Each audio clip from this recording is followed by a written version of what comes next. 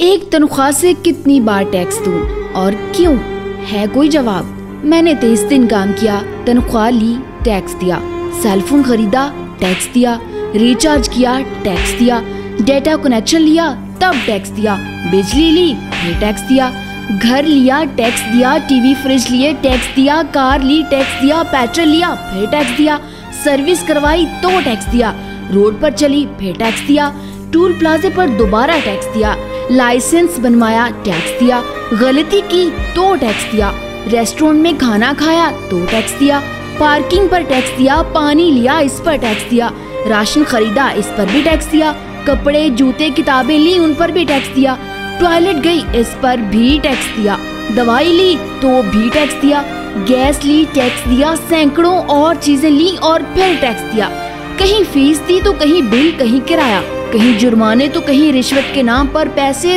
دینے ہی پڑے۔ اس سب ڈرامے کے بعد اگر غلطی سے سیونگز کی مد میں کچھ بچا لیا، تو پھر ٹیکس دیا۔ ساری عمر محنت سے کام کرنے کے بعد کوئی سوشل سیکیورٹی نہیں، کوئی پینشن نہیں۔ صرف پانچ سال کے لیے ایم این اے نہیں ایم پی اے بن جاتے تو مزے تھے۔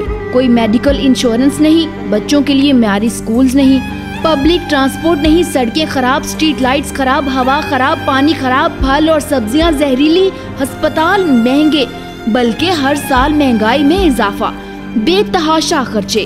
اس کے بعد ہر جگہ لمبی لائنیں، آخر سارا پیسہ کہاں گیا؟ کرپشن میں، الیکشن میں، امیروں کو حاصل مراد میں، امیروں کے فرضی دیوالیاں ہو کر قرضے معاف کروانے میں، سوئس بینکس میں، لیڈرز کے بنگلے اور کارز میں، عوام کو سبز باغ دکھانے میں اور پاناما کے ہنگامے میں۔ اب کس کو چور کہیں؟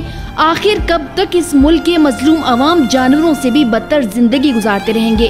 میں جتنا وطن عزیز اور اس کی غریب عوام کے استحصال کے متعلق سوچتی ہوں تو خون کے آنسر ہوتی ہوں۔ مگر اب وقت آ چکا کہ کسی شخص سے واحد کی اندھی محبت اور تقلید کے بجائے اس پیارے ملک اور اس کی غریب عوام کے بارے میں سوچا جائے۔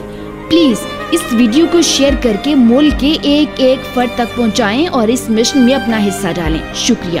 پاکستان زندہ باد غریب پاکستانی عوام پائندہ باد۔